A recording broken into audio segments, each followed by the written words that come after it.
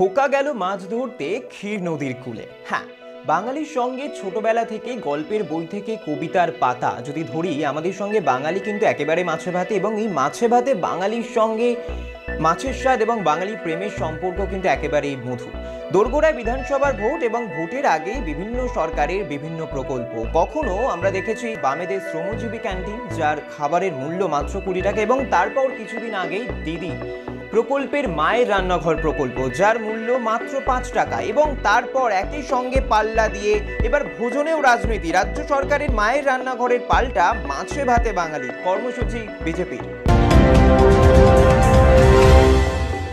রাজনৈতিক প্রচারে হাতিয়ার এবার ভোজ পর্ব। মমতা বন্দ্যোপাধ্যায় তৃণমূল সরকারের মায়ের রান্নাঘরে পাল্টা দিতে এবার মাছে ভাতে বাঙালি কর্মসূচি নিয়ে নামছে বিজেপি। পাঁচ টাকাও দিতে হবে না। ভোটের মরশুমে সম্পূর্ণ বিনামূল্যে ভোজ সোমবার পূর্ব মেদিনীপুর থেকে এই প্রকল্প শুরু হলো। ওই দিন এগরায় সাধারণ মানুষের সঙ্গে মাটিতে বসে মধ্যাহ্নভোজ সারলেন বিজেপি নেতারা। স্রেফ এগরা নয়, আগামী দিনে কাঁথির বিভিন্ন এলাকায় এই কর্মসূচি চলবে। বাঙালি সংস্কৃতি তুলে ধরতে আগামী দিনে বিভিন্ন এলাকায় এই মাছে ভাতে বাঙালি অনুষ্ঠান করা হবে। সকালে যেমন চায় পে চর্চা হয়, তেমনি দুপুরে খাওয়া দাওয়ার ফাঁকে তেমনি চর্চা চলবে।